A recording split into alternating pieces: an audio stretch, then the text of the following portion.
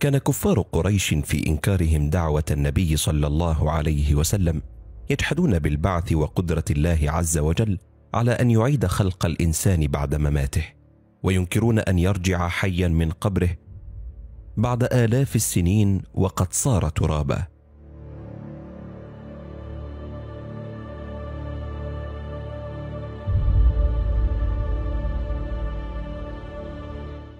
وقد ضرب الكافرون امثالا في الإنكار والجحود وأعظم ما اتخذوه حجة في كفرهم بلقاء الله أن من مات وصارت عظامه رميما باليه لا يصدق عقل أنه يعود حيا فيبعث من قبره.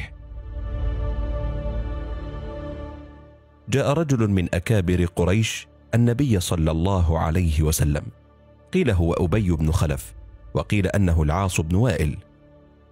جاء يحمل في يده عظما رميما باليا التقطه من الأرض مناديا بأعلى صوته.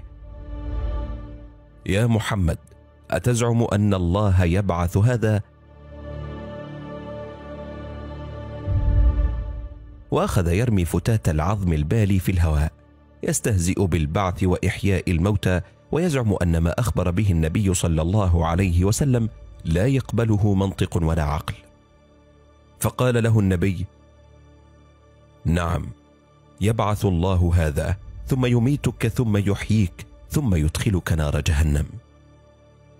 فنزل قول الله تعالى أولم ير الإنسان أنا خلقناه من نطفة فإذا هو خصيم مبين وضرب لنا مثلا ونسي خلقه قال من يحيي العظام وهي رميم قل يحييها الذي أنشأها أول مرة وهو بكل خلق عليم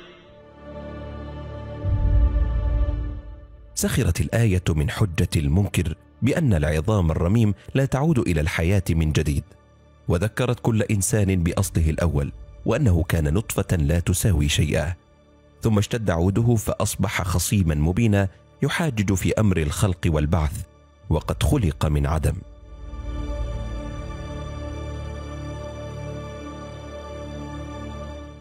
نزل القرآن ببرهان عقلي يدحض مزاعم الجاحدين.